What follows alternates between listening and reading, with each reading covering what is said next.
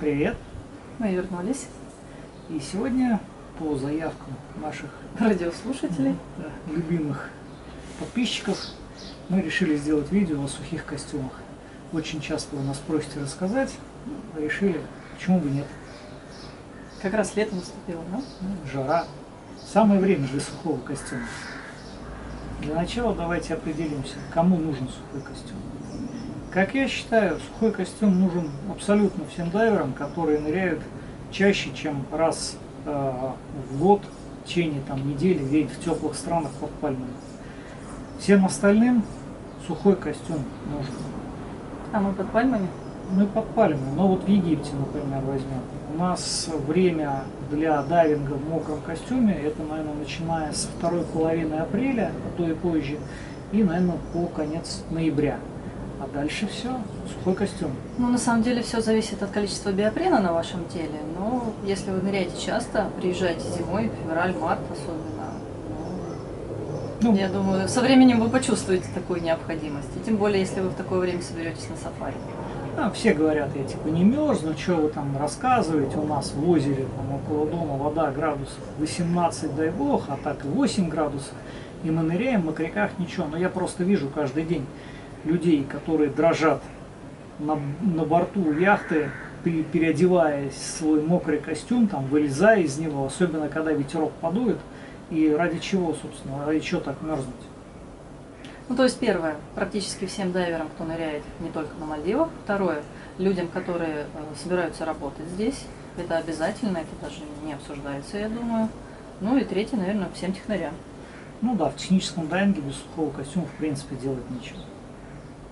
Хочу вам напомнить, что на нашем канале есть курс Nitrox Online, который вы можете скачать по ссылке в описании, пройти этот курс и получить сертификат Nitrox Diver абсолютно за какие-то смешные деньги. Ну, по цене сертификата. По цене, по цене карточки.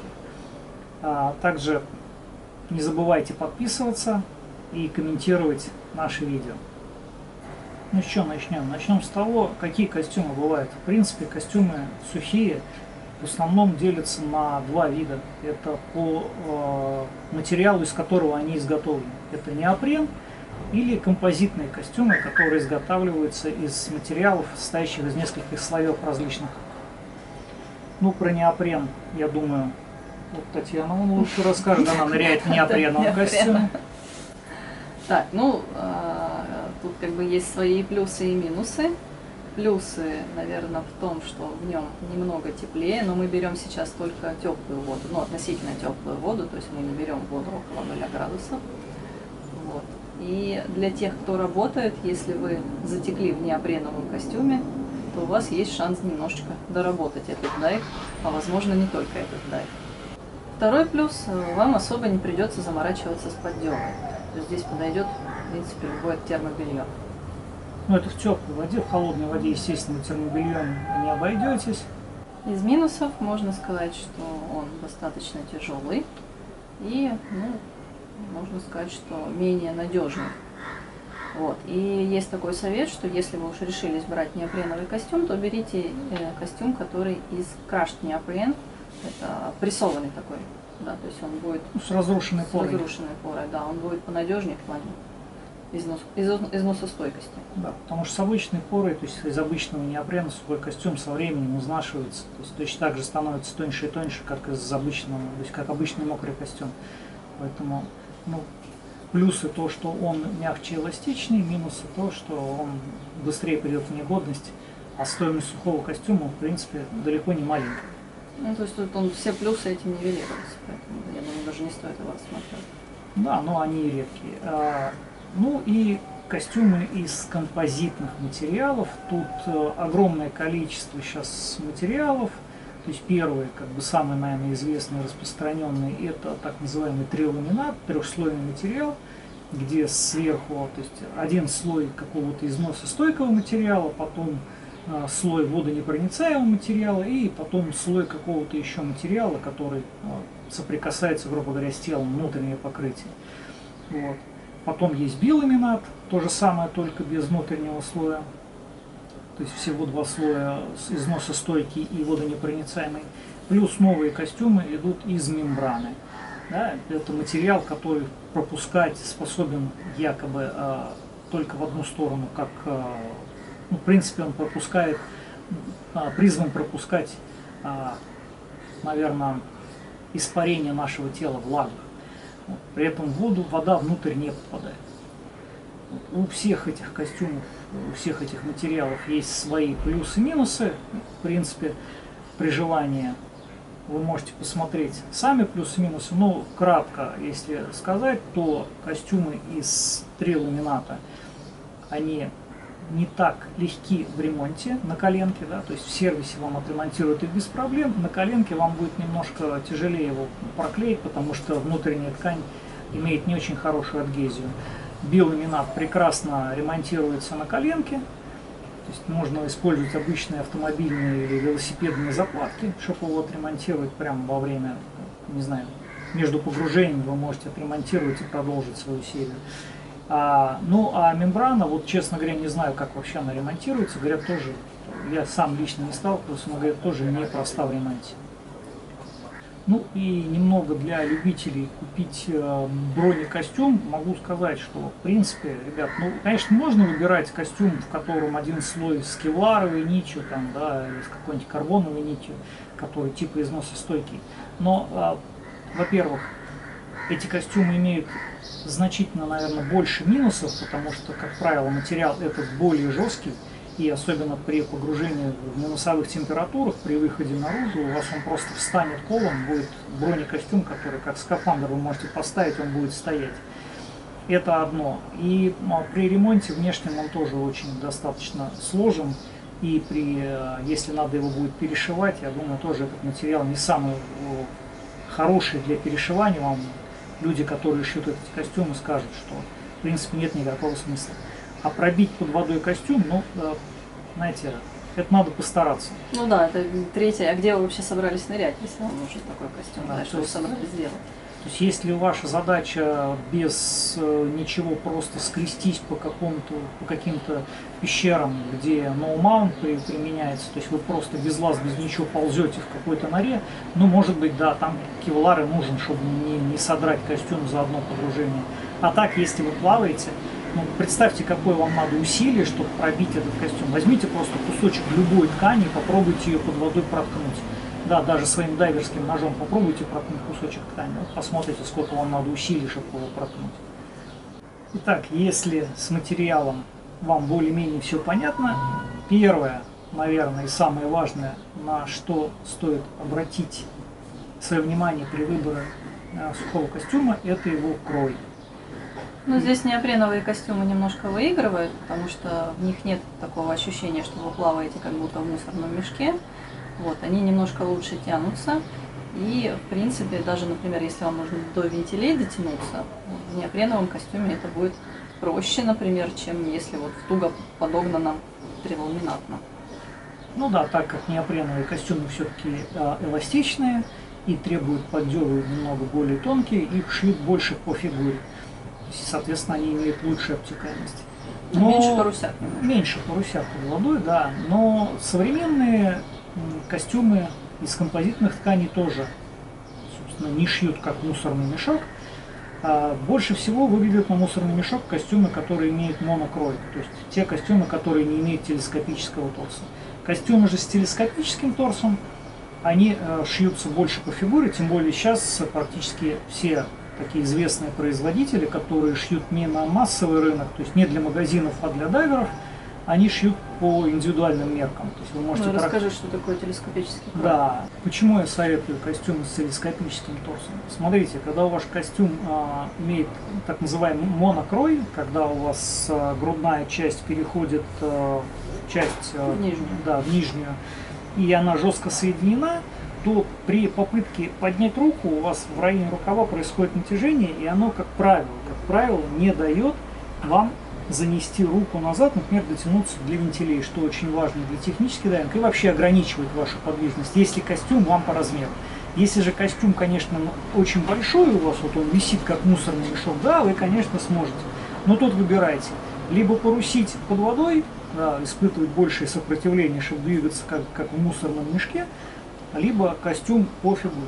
С телескопическим кроем, э, торсом, это в принципе не происходит. Почему? Потому что у вас костюм имеет фактически складку в районе пояса, и она на эластичных э, Типа бандажей. да, такая, на резинках на она крепится, да, то есть все время она натянута, то есть ничего не парусит, ничего не, не выпирает, нигде не торчит. Но при, при этом, когда вы поднимаете руку, у вас тут происходит удлинение настолько, насколько вам надо, вы легко дотягиваетесь там до вентилей, ну и куда вам надо, и подвижность значительно больше. Ну, еще один момент. Э, Сейчас все более доступен становится индивидуальный пошив в сухих костюмах. Вот, в принципе, уже почти все производители достаточно высокого качества их делают, поэтому если у вас есть такая возможность, да, это будет, может быть, немножко дороже, но оно того стоит. Да, разница в цене на самом деле незначительная, и действительно все серьезные производители, которые шьют для дайверов, а не для магазинов, они делают индивидуальный пошив по вашим меркам. То есть вы снимаете мерки, они вам присылают таблицу, где надо и что измерить, вы, ссылаете, вы снимаете мерки, посылаете им и получаете уже костюм, сшитый по вашим меркам, обговаривая при этом, какую конфигурацию вы хотите, что вы хотите там поставить, какую подделу будете использовать. То есть с учетом всех вот этих нюансов вы получаете костюм максимально э, близкий к тому, который вам нужен. То есть это, я думаю, я считаю, это лучший результат, учитывая как бы, стоимость костюма. Ну, Здесь надо еще быть готовым все-таки к нескольким примеркам, потому что Ну. если вы уж обратились за пошивом, скорее всего, у вас фигура нестандартная. Вот, Нет. и- Не получится примерки, практически ни- никто не делает примерки, потому что у тебя производитель костюма где-нибудь в Польше или на Мальте, Ну, знаю А- много э, примеров, когда перешивали по два, по три раза. да, ну, перешивали. Ну, Ладно, да, вырежем. отвлеклись. Нет. Не вырежем. Ну и ладно, и хорошо. Отлично. Вот, то есть при возможности старайтесь а, заказать себе костюм, не так уж это и дорого. Ну а дальше самая такая тема, которую чаще всего обсуждают владельцы сухих костюмов, какая молния у тебя стоит на костюме и какая же молния лучше. Ну, молнии бывает сейчас на самом деле два типа всего. Это э, молнии пластиковые и молнии металлические. Пластиковые молнии не так давно стали применяться, значительно позже. Металлические это такая классика. О плюсах и минусах говорить сложно. У каждой из этих есть и плюсы, и минусы. Можем сказать только, наверное, вот из собственной практики, что мы э, приняли для себя. Ну, мы перешли на пластик, да. Но, хотя могу сказать, что родная металлическая прослужила дольше, наверное. Да, то есть вот именно родная. Родная, У да. меня то же самое на моем костюме. Родная металлическая молния, которая стояла от производителя, прослужила лет, наверное, 8. Все никто, да, никто не верит, но она прослужила 8 лет и еще бы служила, если бы ее просто физически не сломали. Просто при транспортировке костюм переломили, и молния в итоге все-таки сломалась. Вот. Пластиковые молнии, сейчас которые мы поставили, мы меняли вначале на металлические после этого, и я, и Татьяна на своем костюме. И, ну, служили они 2-3 года. А то и меньше, А то, был- да, было и меньше. То есть, э, вроде как бы и производитель тот же, но непонятно. Видимо, все-таки не тот же. Вот, Пластиковые молнии, которые мы сейчас поставили, уже, наверное, сколько? Годика три ходит у нас. Ну да, все довольны. Да, пока никаких нареканий на пластик нет. А что выбрать? Тут, э, конечно, мы вам не можем прям а, так вот жестко советовать, типа берите металл или берите пластик. А, В разных условиях, наверное, все-таки разные молнии будут выигрышны. То есть вот в условиях достаточно чистого моря, нырялку вы как бы ныряете в воде, которая не загрязнена какими-то микрочастицами, которые могут попадать на взвеси нет. Да, нет взвеси жесткой, там нет ни пыли, ничего. То есть, когда вы просто ныряете для удовольствия, а в большинстве своем вы ныряете для удовольствия. Я думаю, что пластиковая молния значительно выигрышна, потому что она даже более эластична и по транспортировке это многое значит. То есть со временем она дольше должна, по идее, прослужить. При этом, если же вы ныряете, э, наверное, в холодной воде, то есть ледяной, тут э, пластиковая молния может как бы сыграть, наверное, в минус, потому что кристаллики льда все-таки способны деформировать ее при застегивании. То есть если у вас где-то в молнии вдруг она была не сухая, попала замерзшая вода, то есть, скорее всего, пластик все-таки деформируется, и со временем это начнет течь. так ну это слишком уже я долго вам об этом рассказываю, поэтому совет. Если условия более-менее адекватные, не, вы не, не занимаетесь коммерческим дайвингом, не чистите канализационные колодцы, блин, и не ныряете, не знаю, в условиях, когда вам песок несет постоянно в взвесе песка и воды, то, наверное, пластиковая молния все-таки лучше. Ну, еще вариант э, второй молнии, то есть сверху защитной, она Да. немножко спасает. Да, это она защищает, ну, немного, на самом деле, действительно немного, да. Если вы посмотрите вот на фотографии, вот она пластиковая молния, она не герметична, под нее также все попадает, то есть попадание, в принципе, от попадания песка она защитит условно, например, на суше, а под водой, скорее всего, нет.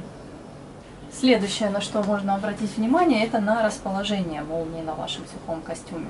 Значит, здесь они делятся на три типа, можно сказать. На молния, которая расположена сзади по спине у вас. Второй вариант – это передняя молния, которая идет э, по диагонали. И третий вариант – это молния такая, ну как Ну, воротниковая, да, можно ее да, назвать. можно назвать воротниковая, то есть когда она идет вот так вот а, по типу большого воротника, а, либо по поясу. То есть она на самом деле передняя горизонтальная. Мгм. Вот. А, Какой выбрать вариант? Тут, как правило, сталкиваются два, два интереса. Первый интерес или две проблемы. Первое – это самостоятельно открыть-закрыть костюм. Вот. А вторая – это насколько защищена молния от повреждений при погружениях при различном расположении.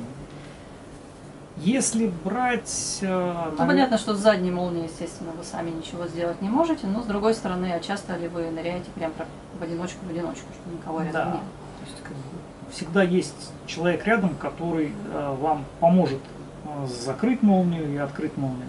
Еще один плюс такой молнии в том, что если она начала немножечко подтекать, но это уже больше, наверное, для тех, кто работает, то, в принципе, за счет того, что это э, расположение у нее сверху, и там обычно у вас воздушный пузырь, то можно достаточно долго еще проплавать.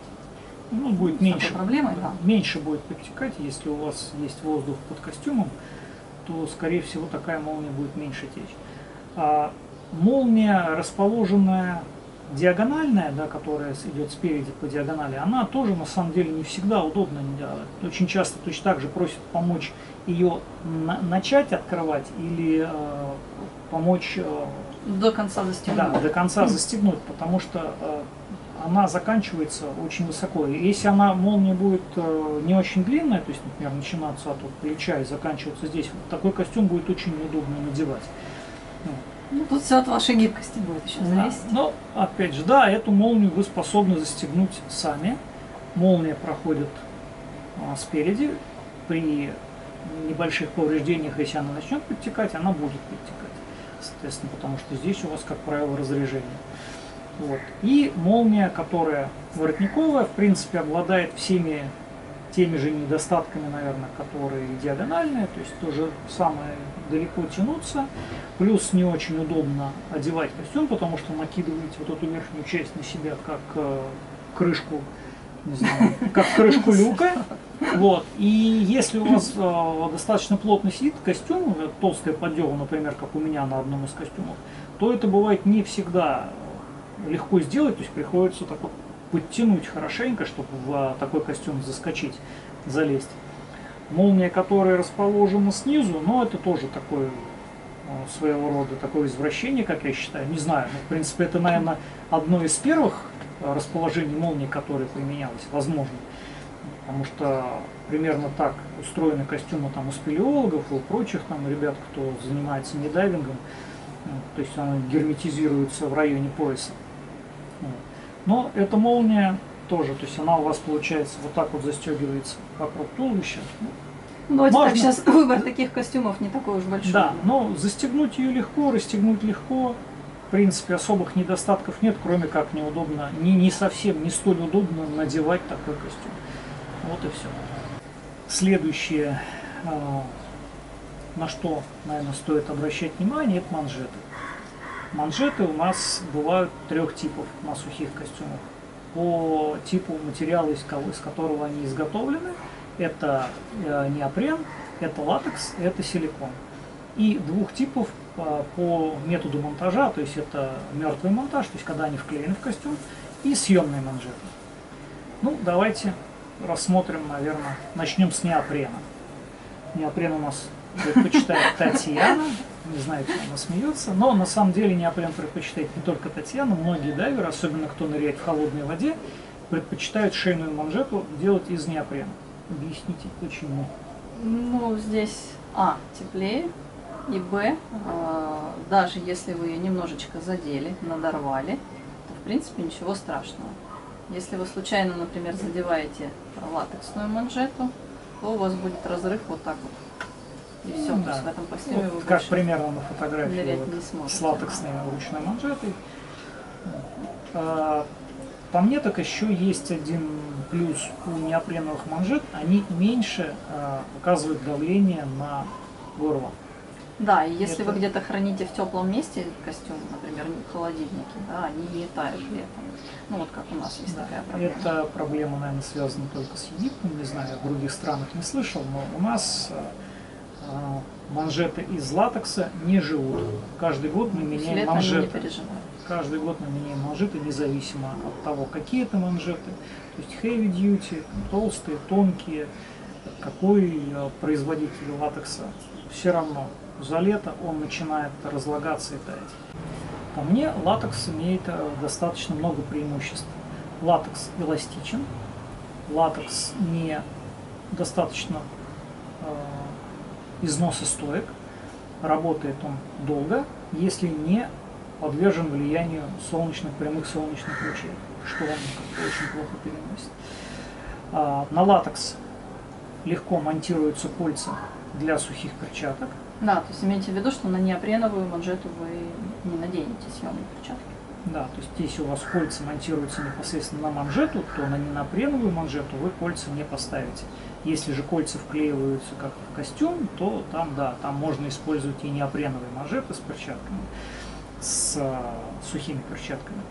Вот. а, И плюс а, латексные манжеты, наверное, также можно сделать как э, ну, быстро съемными. То есть их можно использовать системой бы- быстро бы- С кольцами. да, с кольцами для быстрого съема. Вот. Э, Силикон. Силикон, наверное, самый эластичный из всех материалов. Он хорошо прилипает, но силикон, наверное, самый нежный в плане повреждения. То есть, если вы зацепили а, латекс, то не, так, не такая большая вероятность, что он порвется.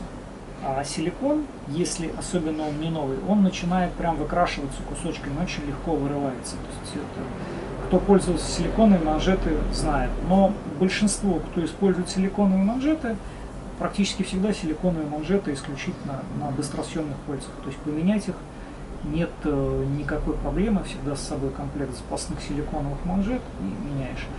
Я использую и силикон, и латекс. Неопрен у меня я не использую на своих костюмах, но вот Татьяна... Ну, нас- тебе нужны просто сухие перчатки, мне нет, я так Да. ныряю. Вот. Ну, еще один момент э, с, со всякими приблудами для того, чтобы вы смогли надеть этот костюм для разных манжет. видов.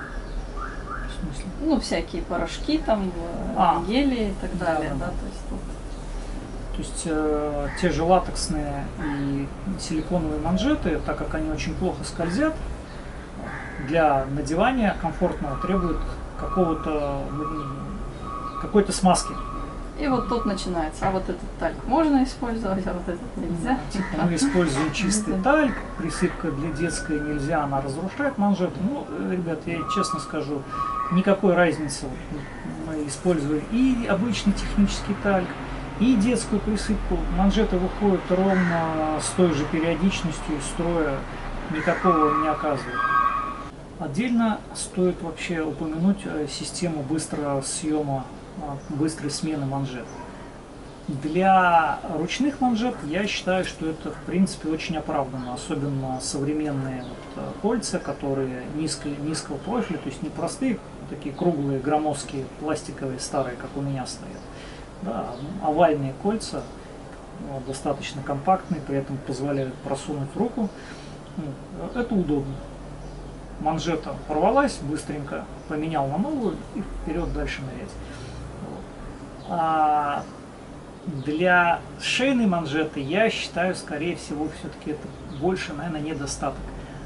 Почему кольцо очень давит Да, на- если у вас моностропа, то ну, жалуются да, очень-очень давит ну, на плечи. шеи. Да, вот- Ключица, вот здесь, да? клю- да, на ключицу. Поэтому мне лично не нравится. За все свое время ни разу у меня не, не было такого, чтобы мне понадобилось срочно менять шейную манжету. Как правило, то, что она подходит к концу, ясно заранее. То есть уже видно то, что она подрастянулась, она начинает немножечко пропускать воду. И уже надо быть готовым и просто поменять ее заранее, не ждать, когда она порвется. А если, конечно, ну, не следить, то да, можно одеть кольцо, то есть вклеить кольцо для быстрой смены, но будете испытывать какие-то неудобства. В первую очередь они, конечно же, э, испытываются на суше. Дальше давайте про обувь. Какая бывает обувь на сухих костюмах? Собственно, на самом деле два принципиальных типа – это боты и носки. Боты при этом делятся на два подвида. Это так называемые турбосолсы, облегченные боты. И их чаще всего используют, кстати, в техническом, технические дайверы. Либо а, такой достаточно серьезный бот, от, э, Ну, больше, сапог да, больше похож на сапог. Вот, э, чаще всего используется, кстати, на не- неопреновых костюмах. И носки. Носки могут быть тоже из неопрена, либо из э, какого-нибудь ламинатного материала, то есть многослойного. Итак, Ну, сапоги. Здесь, да, сапоги, наверное, только для тех, кто работает вот с берегов, на- например, как в условиях Дахаба, вот, и редко путешествует туда, либо вообще никуда не выезжает, потому что все-таки это громоздко, это тяжело, это неудобно. Ну, при этом, да, если заход у вас по камням, по каким-то Да. кораллам, то, наверное, эти, эти боты наиболее такие ну, хорошо защищают ногу. Вот, причем они защищают ее не только на стопе, но и выше. Потому что это все-таки как, а, выглядит как такие полусапожки. А, Еще И- один плюс, меньше немножко обжимаются в воде. да, возможно. Но минус то, что много воздуха может скопиться.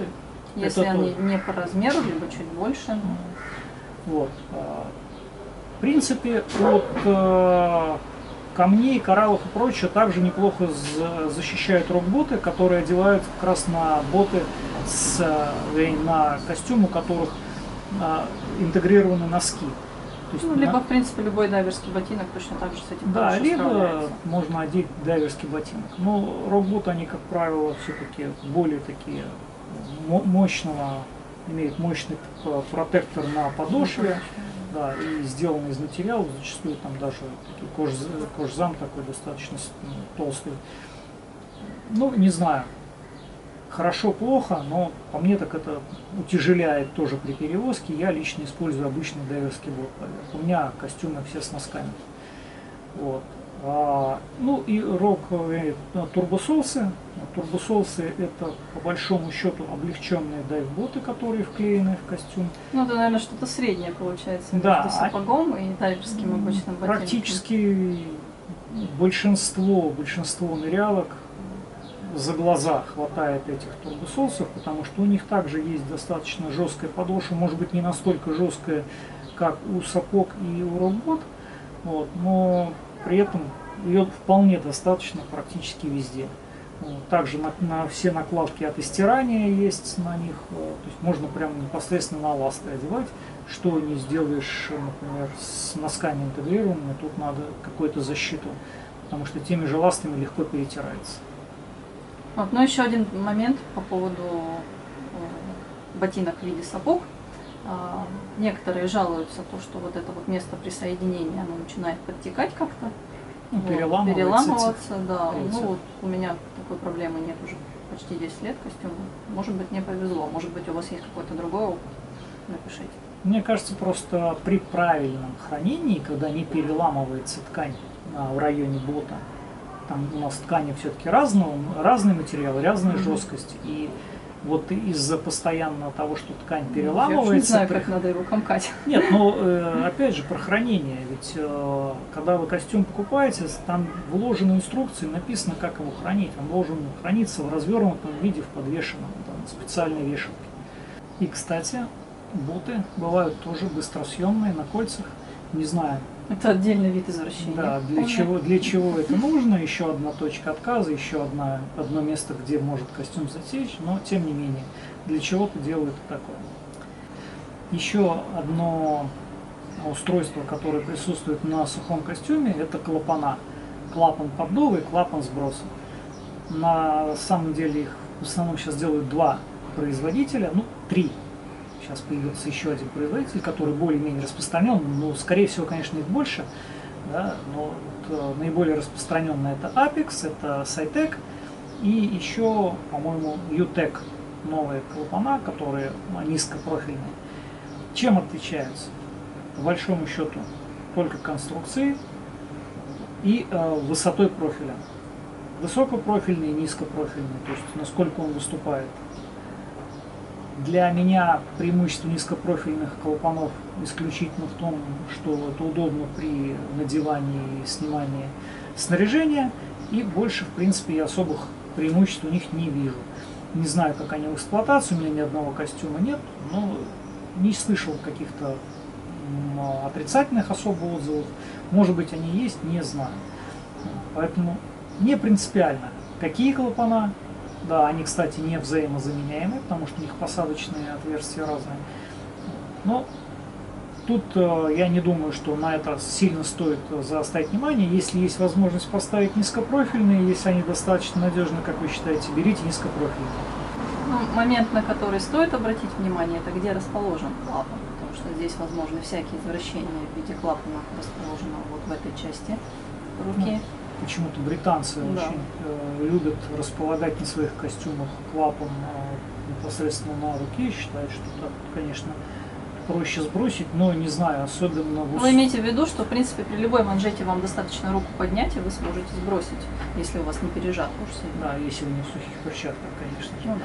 Вот, но ну, не знаю, по мне так поднимать руку это тоже не всегда возможно, особенно если вы стеснены каким-то потолком, находитесь в надголовной среде. Я бы не стал. И плюс, опять же, мы руками двигаем, это лишняя точка зацепа, каких-то Мгм. там линий и прочее. Я, я, я точно предпочитаю клапан, который расположен на плече. То есть здесь следите, чтобы он не был достаточно как бы низко расположен, потому что ну, тогда недостаточно будет просто немножко повернуться, да, и у вас сбросится в воздух. Лучше брать вот которые, Ну, ну, где-то вот в этом районе. Производители практически все одинаковых на самом деле располагают. У меня вот костюмы разные, а клапан примерно в одном и том же Ну, мне месте. попадался костюм, в котором Может быть. сложнее да. Ну и дальше пошли всевозможные опции. Это подогрев, пивалв. Да. Ну, кто не знает, что такое пивалв, значит оно вам и не нужно. Вот. И всевозможные накладки и карманы. Вот карманы опция очень нужна. Реально, на сухом костюме карманы это прям очень-очень хороший элемент. Главное, чтобы они были грамотно пришиты, нужного размера и правильно сделаны. То есть, чтобы они это не были какие-то карго-покеты, в которых можно положить, я не знаю, там, Слона. ну, не слона, да, но по крайней Слонёнка. мере, да, слоненка. Чтобы они не очень торчали, при этом они желательно, чтобы когда были пустые, сами подтягивались, то есть как какие-то эластичные элементы были предусмотрены. Обязательно в карманах должны быть э, пришиты, и, да, быть отверстия для слива воды, понятно. И веревочки, э, пришиты кольца веревочные для открепления всех девайсов. То Когда вы вынимали из кармана, все на этой веревочке оставалось, на этом кольце. Ну и как по мне, все-таки карманы, которые э, ну, изначально предусмотрены производителем, они немножко удобнее, чем съемные. То есть меньше вероятности Да. зацепа. Да, ну, Съемные карманы, да, есть э, такие, которые на липучках, вот, либо система быстро, быстрого монтажа карманов, как у меня на одном из костюмов. Ну, в принципе, ничего плохого с этой системой быстрого монтажа карманов. Единственное, что со временем она износилась, и сейчас ее перешить, но проще, наверное, будет пришить новые карманы. А на производстве все-таки это было сделать было бы лучше, скорее всего. А, подогрев тем, кто ныряет в холодной воде, под лед, вода 8 градусов и ниже, крайне рекомендую. Если есть возможность, но И подогрев, финансы на него. да, если есть финансы, но тогда вам понадобится апгрейд и клапанов, да, то есть клапан под дуло у вас должен быть с вводом герморазъема. Вот, сейчас, правда, вроде как начали производить автономные подогреватели с аккумуляторным элементом, который одевается внутри, то есть помещается внутри костюма, но если он не имеет класс водозащиты, хотя бы 68 то я бы не советовал, потому что при попадании воды закоротнет, и вы можете просто получить термические ожоги очень-очень сильные. Ну и подытожим. Кому нужен сухой костюм? Ну, как мы Практически все. всем. Да. Дальше по критериям выбора, выбора для обычного дайвера. Это будет первое материал, второе это крой, вот. э, Ну, третье это цена, и всегда ориентируйтесь э, на то, где вы собираетесь его использовать.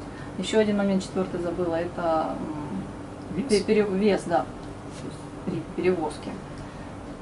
То есть не берем костюмы бронированные, если они вам не нужны. То есть если вы не рассчитываете действительно лазить по каким-то норам, ничем вам эта бронь не поможет, кроме как добавит вес и усложнит ремонт.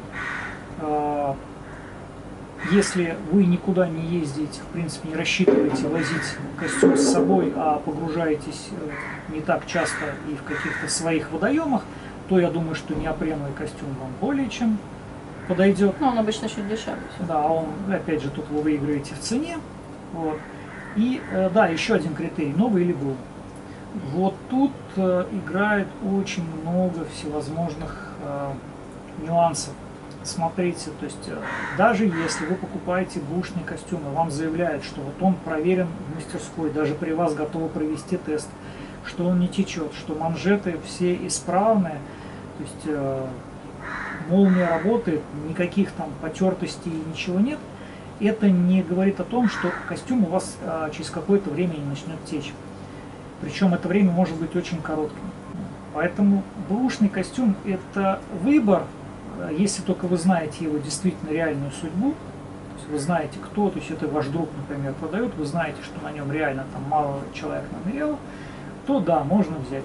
А так, ну, я бы вот не рискнул. На этом, наверное, все. Мы с вами прощаемся. До новых встреч. Да, ждем ваших комментариев, лайков, подписок. Увидимся.